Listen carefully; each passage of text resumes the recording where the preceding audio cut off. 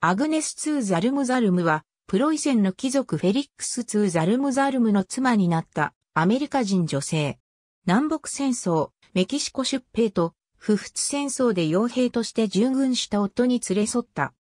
アグネス・ザルム・ザルムは、出生名をアグネス・エリザベス・ウィノナ・レクラーク・ジョイと言い、バーモント州、フランクリンでアメリカ合衆国の軍人ウィリアム・レクラーク・ジョイとジュリア・ウィラードとの間に生まれた。彼女の父方の曾祖父はマイカ・ジョイであり、マーシー・テリルと結婚した。彼女の生い立ちについてはほとんどわかっていない。多くの学者が彼女はサーカスで働いており、キューバで女優をしていたと考えている。1861年にアメリカ合衆国に帰国後すぐにバーモント州を離れ、ワシントン DC に嫁いだ姉妹の元を訪ねている。ワシントン滞在中に彼女はフェリックス2ザルムザルムと出会った。彼女はある朝、牙で街を通っていると、その時彼女を初めて見たフェリックスは彼女をパーティーに招待することを決めた。そのパーティーで彼は彼女に求婚し、1862年8月に二人は結婚した。アグネスはフェリックスと長い間にわたり暮らしを別にし、彼の転戦に付き従った。彼のキャンプでは彼女は医学の知識はなかったが傷病兵の看護をした。4年間、彼女は軍と共に行動を共にし、バージニアを訪れた唯一の女性であった。大佐の夫人として彼女は兵士のために計画されたワゴンと物資とを手配し、そのためにしばしばこれらを盗んだりもした。これは、エブラハム・リンカーン大統領が解決しなければならない物議を醸した。1863年1月、軍はバージニア州アキアクリークに行くように命令された。アグネスは夫についていった。そこで彼女はリンカーン大統領にサンドキスする賭けをした。大統領の訪問中に彼女はそれをやってのけた。南北戦争後、フェリックスはメキシコ帝国のマクシミリアン皇帝軍に参加する機会を得た。アグネスとフェリックスは、フランソワ・バセーヌ指揮下のフランス軍がプロイセントの戦争のためにヨーロッパに帰還している最中のメキシコシティを訪れた。フェリックスとバセーヌは、後に不仏戦争を戦うことになる。共和国軍がケレタロを包囲し、マクシミリアンが降伏を余儀なくされた時、アグネスはマクシミリアンと夫の除名嘆願の努力をし、ケレタロからメキシコシティ、サン・ルイス・ポトシまで行き、ベニート・フアレス大統領、マリアーノ・エスコベド将軍、ポルフィリオ・ディアス将軍とその他特別な将校と会談している。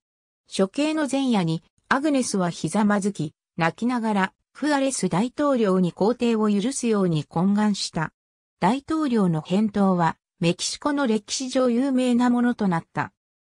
マダム、そんなことをされては辛い。どうかお立ちください。たとえ王や女王がそこにいて、そのようにしても、私は彼を助けることはできません。私が彼を殺すのではない。人民と法が彼を殺すのです。フアレスの拒否に対して、この勇敢な女性は答えた。王、もし血を流さなければならないのであれば、この価値のない女の命を他国のために先行を成した殿方の代わりにお取りください。これは虚しく終わった。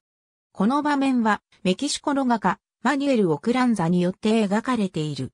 それから彼女は皇帝と夫の脱出の企みの計画に暴殺された。計画は脱出のためにベラクルスまでビジャヌエバ大佐を皇帝に警護させることであった。しかし、ビジャヌエバがパラシオス大佐の協力なしではそれをやり通そうとはしなかった。賄賂は用意していた。アグネスは二人に10万ペソの約束手形を彼らそれぞれに提示した。これはマクシミリアンの兄オーストリア皇帝のフランツ・ヨーゼフ一世によって保証されるというものであった。彼らがアグネスの部屋にいる時にパラシオスに計画を明らかにすると彼は皇帝への同情をいち早く彼女に伝えた。パラシオスは懐疑的であり、彼は彼女に翌朝に返答すると言った。彼はやると信じて、アグネスは同意した。言い伝えによるとアグネスはその場で服を脱ぎ、体を賄賂として差し出したという。夫フェリックスがプロイセン軍で再び戦うために、ヨーロッパに戻った時、アグネスもそれに同行し、ニューヨークから出港した。